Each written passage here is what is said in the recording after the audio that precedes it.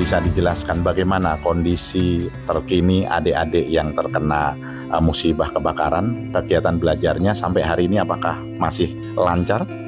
Terkait dengan musibah kebakaran yang terjadi SD Pondok Bambu 01 tiga hari setelah kebetulan peristiwanya terjadi pada hari Jumat, maka tiga hari kemudian tepatnya pada hari Senin sudah langsung dipindahkan kegiatan anak-anak KBM kegiatan belajar mengajar ke SD 07 Pondok Bambu.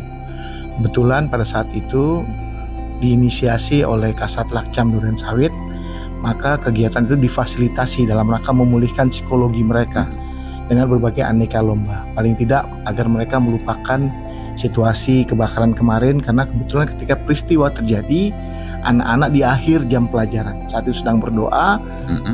Kemudian terbakar dan mereka lari alhamdulillah tidak ada satupun yang menjadi korban tapi barang-barang yang tersedia di dalam sekolah tersebut baik itu berupa kursi, meja, laptop, lemari semuanya terbakar habis. Baik. Dan hari ini terima kasih ada teman Sonora yang salah satu memberikan delegasi. Mm-hmm. Demikian. Baik, Pak Fahmi, kami dari tim Sonora Peduli juga hari ini kebetulan uh, memberikan tali kasih.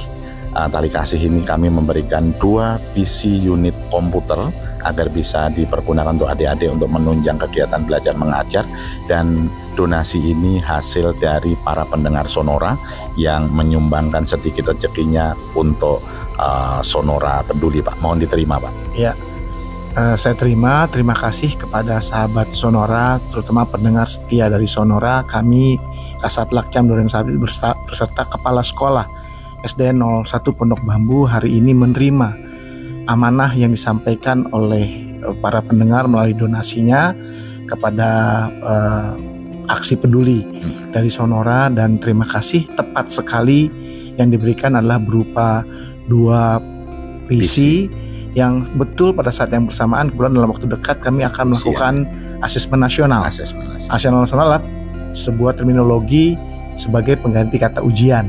Okay. Dan kebetulan karena Sistemnya semuanya ya karena semuanya online dulu namanya ANBK Asesmen Nasional Berbasis Komputer sekarang cukup AN saja. Hmm. Dan alhamdulillah apa yang disampaikan oleh donasi Sonora melalui radio Sonora ini eh, eh, peduli Sonora amat bermanfaat dan sangat tepat sasaran karena di saat yang bersamaan dalam waktu dekat kami akan melakukan asesmen nasional yang menggunakan komputer. Sekali lagi kepada pemirsa Sonora yang telah mendonasikan hartanya, materinya kepada uh, teman-teman khususnya di SD 01 Pondok Bambu yang saat ini memang sangat membutuhkan sekali uh, bantuan dan uluran tangan dari semua pihak.